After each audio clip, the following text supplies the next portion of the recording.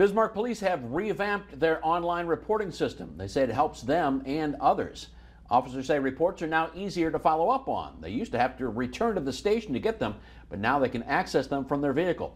People can also make their reports in their own words. This is just alleviating um, an officer and making them available for the more priority calls like domestic violence or assault in progress. Um, but then again, it's we want to make sure that we're we're informing the public that they're all going through the same review process. She says you can use the online system to report stolen property, identity, property, or vehicle theft and vandalism, but it's not for emergencies or if there are suspects.